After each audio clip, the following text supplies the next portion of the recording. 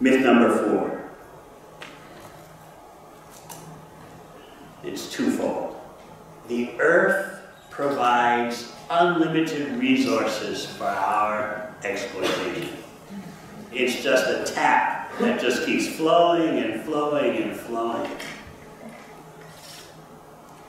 The other half of that myth number four is not only does the earth provide unlimited resources for our exploitation, but the earth provides unlimited sink.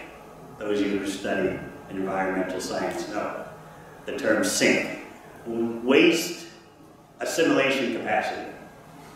So the earth gives unlimited resources and the earth provides unlimited drainage capacity, so to speak, to assimilate all the waste from manufacturing processes.